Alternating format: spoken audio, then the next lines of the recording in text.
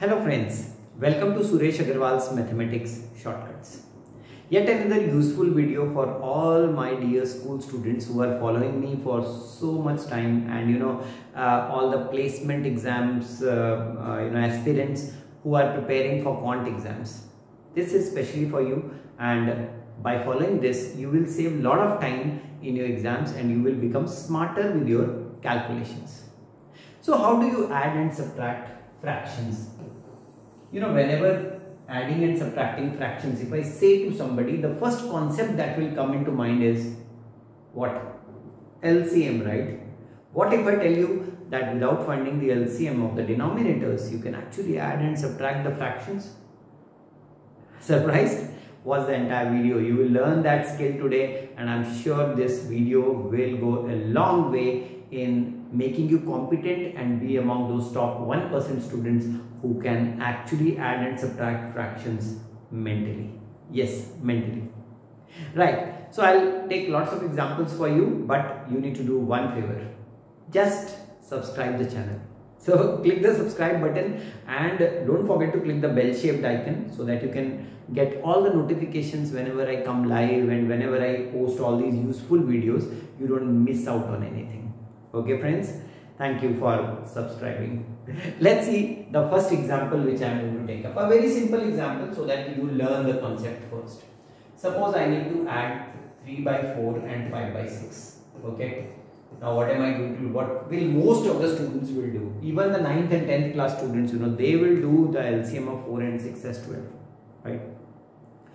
Eliminating the highest common factor, HCF. Now, if you don't want to find the LCM, what do you have to do? This has to be replaced by something, right? This is elimination of HCF, highest common factor. Now, LCM is always found out by eliminating the highest common factor. I'll show you how. See, 4 and 6 in this case, right? The denominators. What is the highest common factor? Can you tell me? The highest common factor between 4 and 6 is 2, right? So, if I take the product of 4 and 6 and divide the result by the HCF that is 24 by 2, I will get the LCM and let's not complicate by thinking that we are finding LCM okay? Let's remember the step okay? Now this is the logic. Whatever I do here is based on this logic. I am trying to eliminate the highest common factor between the denominators right? So watch.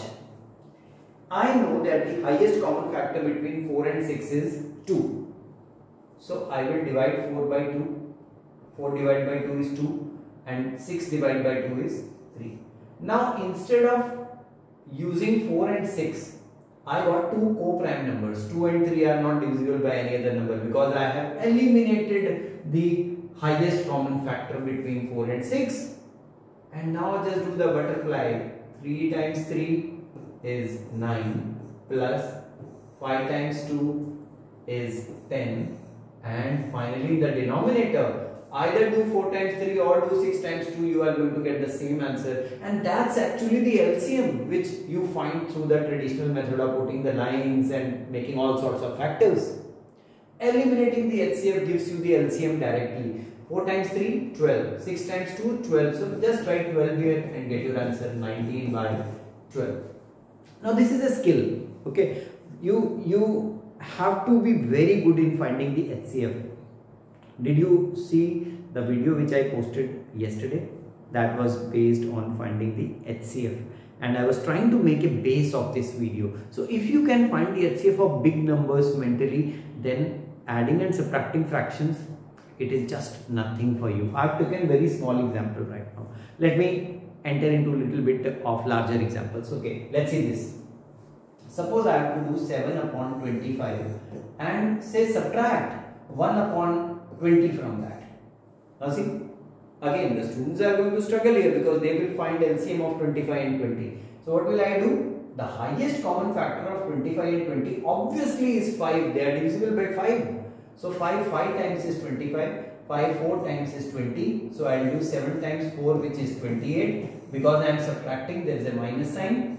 1 times 5 is 5 and in the denominator what did I tell you?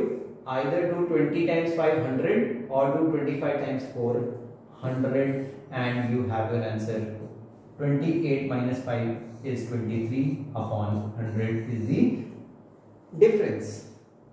Feeling better now?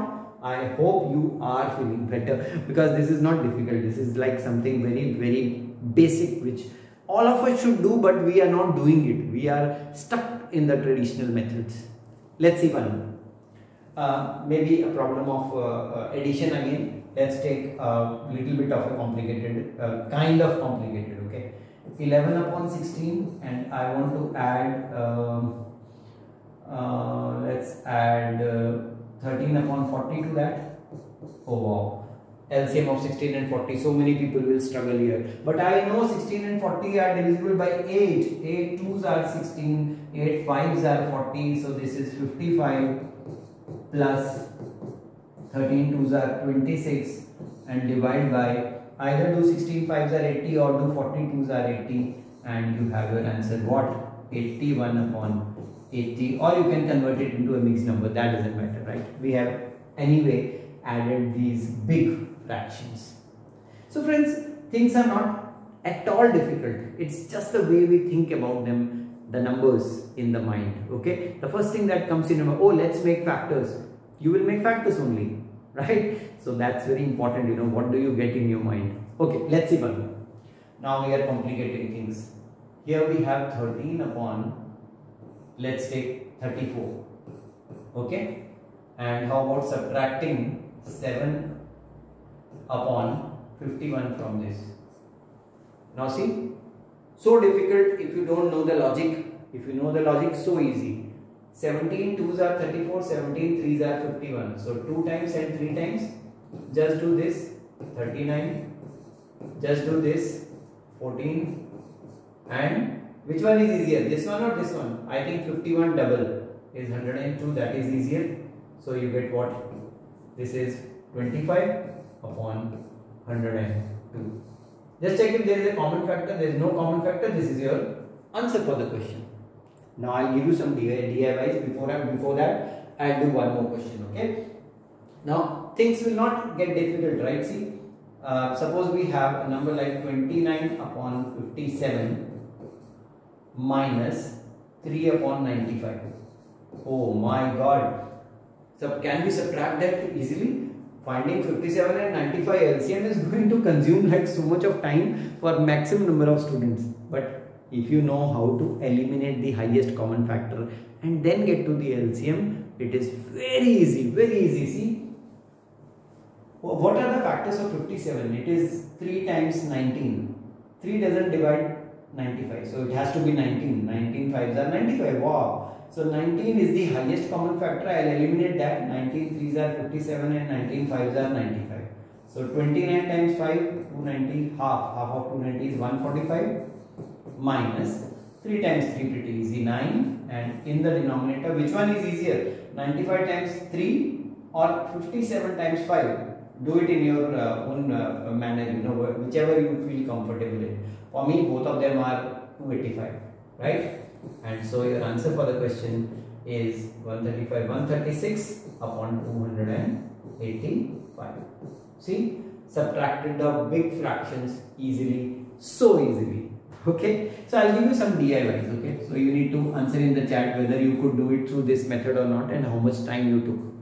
The first question is let's do 7 upon 18 plus 11 upon 26 you will do this.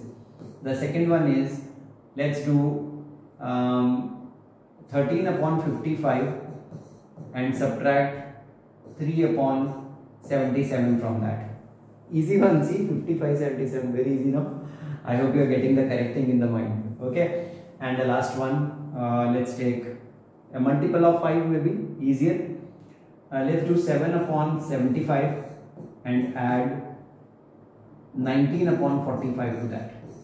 So you have to tell me what are the answers of these three questions using the method which I told you and if it works do share this video with all your friends. That is really really important you know spreading education. And you can contribute to the channel by spreading the links of the videos with your friends okay?